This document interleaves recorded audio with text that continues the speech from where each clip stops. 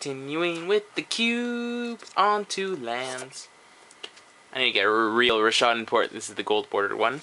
Uh, Tolaria West, Strip Mine, Ancient Tomb, Boseiju, who shelters all, Shelldock Isle, Tech Edge, Windbrisk Heights, Forbidden Orchard. This is Forbidden? Yeah, this one's Forbidden Orchard. Key to Encampment, Grove of the Burn Willows, Evolving Wilds, Murmuring Bosque, Tech, uh, Teetering Peaks, Valakut, Arid Mesa, Misty, uh, Marsh Flats, the, uh, I still need to get my Verdant Catacombs back.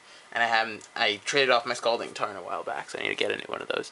Um, Tundra Taiga, Terramorphic, Vesuva, Exotic Orchard, Urborg, Dryad Arbor, the, an Altered, says I'm unplayable, Hellion Crucible, which is actually playable.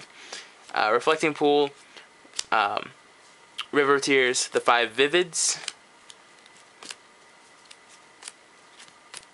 um, Blinkmoth Nexus, stamped from the GP Glimmervoid, Foil Maze of Ith from the Vault, Foil Transguild Promenade, Academy Ruins, Barbarian Ring from the Vault, or not from the Vault, uh, Duel Deck from the Vault, Glacial Chasm, Stirring Wildwood, Celestial Colonnade, which I have to put the uh, the buy box promo one, Creeping Tar Pit, Foil Hinterland Harbor, or yeah, the Checklands with a Foil Hinterland Harbor, I think the uh, Foil Clifftop Retreat, and the Foil Rootbound Crag.